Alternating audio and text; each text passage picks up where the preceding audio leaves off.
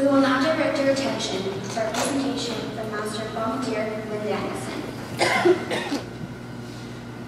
We all want the world to be a better place, a place where we don't have to worry about being hurt, a place where we can live in peace with those we love, and a place where we can have the opportunity to be anything we desire. We all want a world where no one goes hungry, where no one's denied an education, and where no one is killed as a result of war and fighting. But what we want has little meaning if we do not act to make a difference each day. After all, actions do speak louder than words, and it's our choices, our actions, that shape the world that we live in.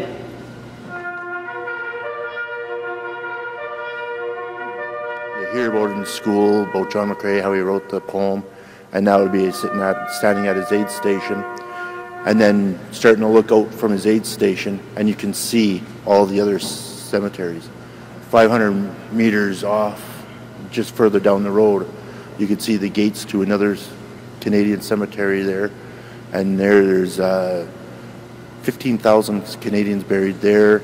Uh, a kilometer and a half down the road from that is another Canadian cemetery where there was 50,000 soldiers buried.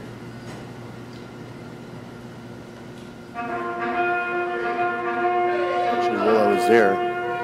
In uh, Ypres, they um, were getting ready to put a new highway in past the area, and they came across uh, a Canadian from the First World War, and they were just excavating the site, and they could tell just because of the, the Canadians in the First World War had buttons with maple leaves on them, and he was still holding a uh, still holding a pistol.